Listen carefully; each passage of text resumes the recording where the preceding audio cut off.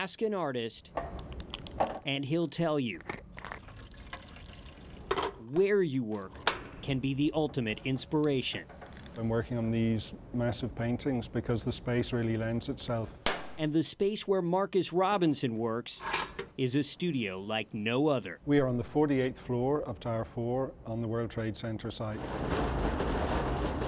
His theme is rebuilding. His subjects, the men and women who've been hard at work. There's something about the absolute grueling, back-breaking, tough work that they do every single day of their lives with their bare hands. This is Tower 3. You're on the seventh floor. Construction supervisor Greg Franzese welcomed Marcus to the site.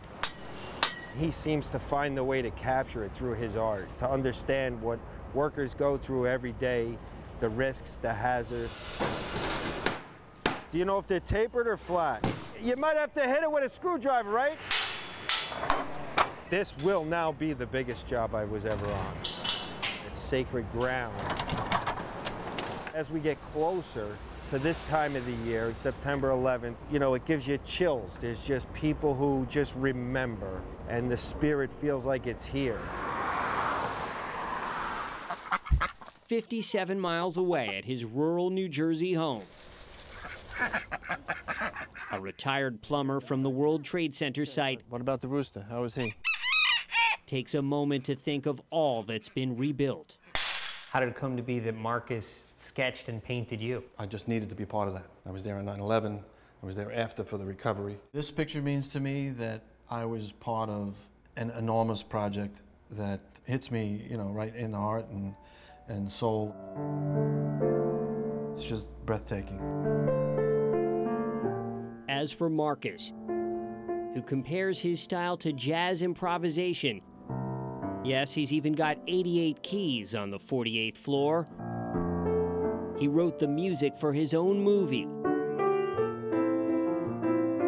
a film about rebuilding Ground Zero. I can look at this and say, I did that. I was there, and I put in thousands of pieces. It's an honor. I mean, I built the Trade Center. I can do anything. He's been shooting it for eight years. It has been the most extraordinary experience of my life. It is all taking shape.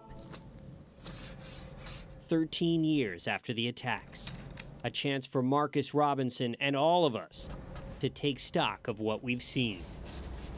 I have loved being here. It has been the most extraordinary experience of my life. They are up in the clouds. You are so high above the city, and I hope these paintings will symbolize the idea of transcending a lot of the smaller things in life. Very moving and humbling to be with these amazing people. In lower Manhattan, Andrew Siff, News 4 New York.